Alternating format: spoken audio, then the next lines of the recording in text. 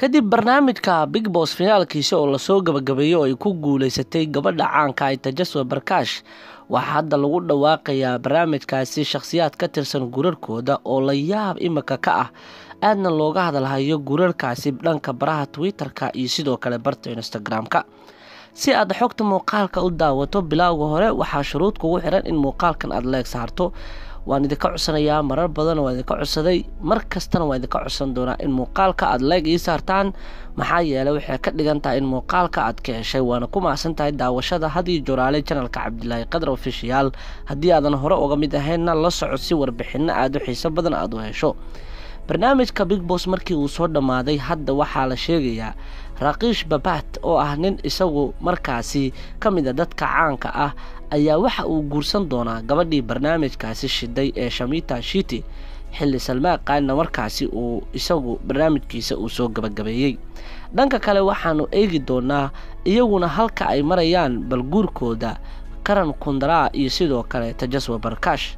maadaama finaalka barnaamijka big bos la gabagabeeyey oo uu soo dhammaaday waxaa aad iyo aad hadda loo hadalhayaa raqiish babaad iyo sidoo kale shamita shiti inay isguursan doonaan. Tumpin aktarka ayaa waxa uu isagu dhinaca kale hadda ka kala soo muuqday. Shamita hooyadeeda sunandi shiti iyo saaxiibka ankasha mohatra barnaamijka si ay iyada u taageeraan waa intii xalqadaas lagu guda jiray oo uu salmaaqaanna marti gelinaya raqiish waxaa la weydiiyey haddii uu doonayo in uu wax la wadaago shamita. Ka hor raqiish inta uusan wax walba sheegin ayaa ankaansha ay markaas soo kala dhex gashay waxayna markaa aad baan u jecelahay shamita kadibna waaba la sugi waayey ilaa waaba sugi la-nahay ilaa koobka aad qaadayso. Inkastoo koobka aysan ku guuleysanin xilligaas barnaamijka ayay ka qayb galayeen. Si dhaqsale rakiish ayaa isagu halka intii la guda jiray wuxuu ku dhawaaqay in uu dhowaan dhici doono faratigeliskooda isaga iyo markaasi shamita shiti haddaba arrintaas waxay keentay in gabadha shamita shiti ay isla goobta ka tiraahdo in ay aada u jeceshahay saygeeda ninka mustaqbalka noqon doona in uu guursado hadda wararkii u dambeeyey ee soo baxaya waxay sheegayaan in markaasi uu fargalkooda uu dhici doono oo uu markaasina noqon doono fargal xaflad kooban ah oo markaasi qaab markaa ku dhacda asxaab aada u kooban ay markaa ka qayb gasho. Wararku waxay intaas ay ku darayaan in labadan shaqsi ay yihiin laba shaqsi oo muddo xiriir jaceyl soo wadaagayay ayna yihiin laba shaqsi oo dadka markaasi iska doorta inkastoo ay ku jiraan dhanka iyo mihnada jilaannimo oo ay yihiin dad markaasi aflaamta iyagu jila. Haddana sidaas oo ay tahay xiriirkooda waxa uu ahaa mid soo taxnaa muddo aada u fara badan. Barnaamijka big bos shan iyo toban gudaheeda ayayna ka xaqiijiyeen inkastoo hadda la soo gabagabeeyey haddana waxaa dhici doonta in labadan shaqsi kadib barnaamijka ay noqdaan kuwo markaasi isguursadaa dhanka kale waxaa iyaguna markaa aada loo hadalhayaa magaca tajraan. Tajraan waxaa laga soo gaabiyey tajaswa barkaash iyo sidoo kale karan kudraa oo laysku geeyey ayaa wuxuu noqonayaa tajraan. Ayaguna waxaa aada loo hadalhayaa in dhowaan uu gurikooda dhici doono maadaama labadan shaqsiba ay yihiin laba shaqsi oo markaa iyaguna caanka ah dhanka barnaamijka big bos shan iyo toban isla sidaas oo kale barnaamijka big bos shan iyo toban ayay ku guda jireen iyaguna isla halkaasoo waalidiinta tajaswa barkaash ay mas'uuliyad dul saareen karan taasoo ka dhigan in labada qoysba ay is aqbaleen guurkoodana la diyaarin doono kadib barnaamijka marka uu dhammaado majaladaha caanka ah ayaa hadda hadal haya in markaa guurka uuba dhici doono oo hadda qabanqaabada la guda galay xilli sidoo kalena ay ku raaxaysanayso una dabaaldegayso tajaswa barkaash inay ku guuleysatay barnaamijka big bos shan iyo toban.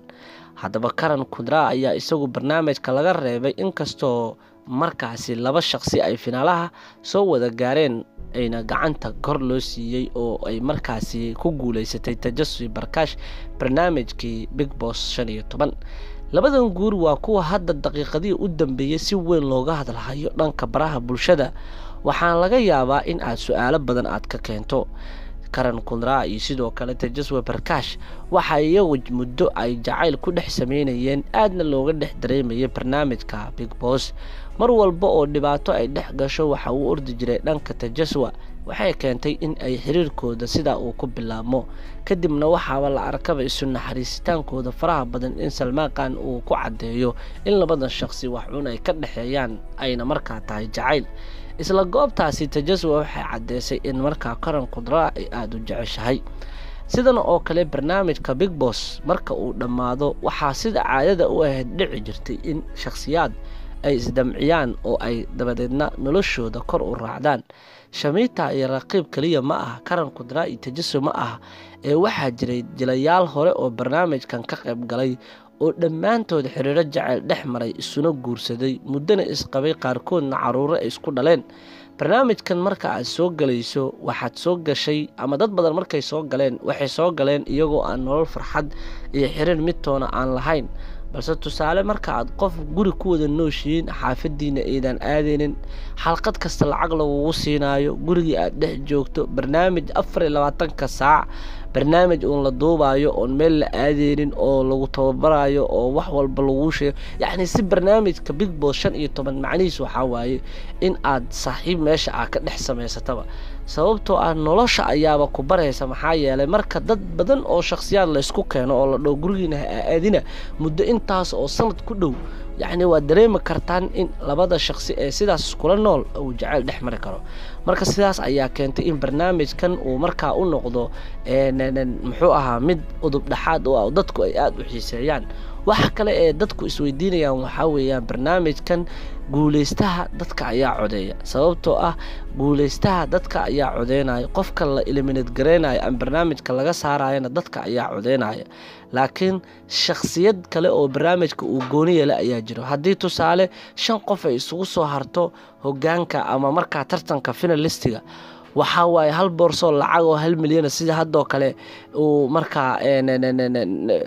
natasha muxuu ahaa enkatesh mu ah yacni mid ayaa la booday oo qaatay boorsada lacagta waana go'aankii uu salmaankan ku taageeray kuwii diiday way ku lacag la-aayeen. Saasoo kale tajasub barkaash marka bilada ay qaado iyaduna waxay ku guuleysanaysaa lacag afar ilaa kaas halow ahaa laakiin afar adi ka badan haddaysan ka badnayn oo malyan oo lacagta rubiska ah marka way kaga filan tahay inay xitaa guryo ku gadato baabuuro ku gadato ku xaraawato waana qof jilaa ah halqad kastana lacag ayay soo qaadanayeen. Barnaamijka wuxuu soo dhamaaday wuxuu ku soo dhammaaday jawi degan tajaswa barkaash iyo karan kudraa tajaswa haddii ku guuleysatay waxaa la dhahay waa karan oo ku guuleystay marka saas ayay barnaamijka uu ku soo dhammaaday laakiin guurarka ugu waaweyn ee hadda la filayo in ay dhacaan waa guurarka aan idiinsoo sheegay guurarkan waxay ku dhici doonaan qaab markaasi dhaqamada wadanka indiya ah oo hadda raqiib waa raqiish iyo sidoo kale gabadhan shamita shiti guur farantigeliskooda dhici doon laakiin karan kudraa iyo tajasba barkaash si toosa guurkooda macalaa farantigeliskooda waa la isku qaban doonaa. Sidaasna nin iyo naagtiisa ayay ku noqon doonaan. Haddii aad ka hesha laag inoo saar la wadaag saaxiibadaada mahadsanid